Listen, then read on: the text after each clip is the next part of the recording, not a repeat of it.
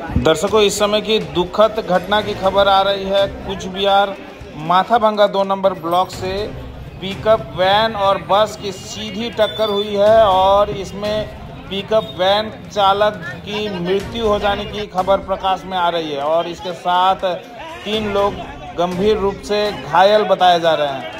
आप सभी को बता दें, दर्शकों, की माथाभंगा दो नंबर ब्लॉक के निशीगंज क्लब के सटे इलाके में पिकअप वैन और बस की सीधी टक्कर हो गई है और इसमें पिकअप वैन का चालक की मौत हो गई है।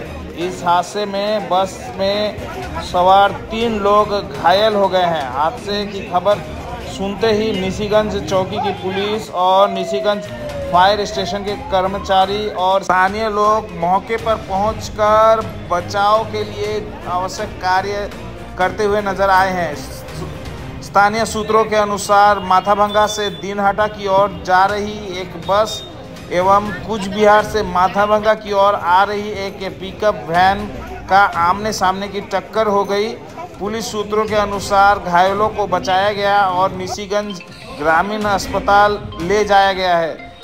इनमें से पिकअप वैन का चालक गंभीर रूप से घायल हो गया था और उसे माथाभंगा महकमा अस्पताल भेजा गया था। वहाँ ड्यूटी पर मौजूद डॉक्टरों ने उन्हें मृत घोषित कर दिया यह दुखद घटना की खबर आ रही है कुछ बिहार माथाभंगा दो नंबर ब्लॉक के क्षेत्र से এই গাড়িটা যাচ্ছিল মাথাভাঙার দিকে আর একটা সিঁড়ি থেকে আসছিল আস্তে আস্তে মুখোমুখি সংঘর্ষ হয়ে গেছে বিকট আওয়াজ শুনে ঘর থেকে বেরোলাম বেরোয় দেখি এই কারও ক্ষয়ক্ষতি? ক্ষয়ক্ষতি বলতে ড্রাইভারটা প্রচণ্ড ক্ষয়ক্ষতি হয়েছে। ড্রাইভারটাকে আমরা সবাই মিলে গাড়ি টাড়ি কী করে পরে বের করে মাথাভাঙা পাঠানো হয়েছে। তখন তারপরে ফায়ার ব্রিগেডকে ফোন করলাম পুলিশ স্টেশনে ফোন করলাম ওরা আসলো। ওরা আসে ব্যাপারটাকে সব কিছু কোথা থেকে কোথায় দিকে যাচ্ছিল গাড়িগুলো? এটা অ্যাকচুয়ালি মা কোচবিহার থেকে এটা মাথাভাঙা থেকে যাচ্ছিল আর এটা শিলিগুড়ি থেকে দিনাটার দিকে। বাসে কারও ক্ষয়ক্ষতি? পাশে একজন মহিলাকে দেখলাম যে মাথায় দিয়ে রক্ত রক্ত বেরোচ্ছে এদিকে বেরোচ্ছে। তারপরে ওনাকে হয়তো হসপিটালে নিয়ে গেল আমরা তো এদিকে দৌড়াদৌড়ি করতেছিলাম ড্রাইভারটা আপনার নাম? নাম বিশ্বজিৎ দেবনাথ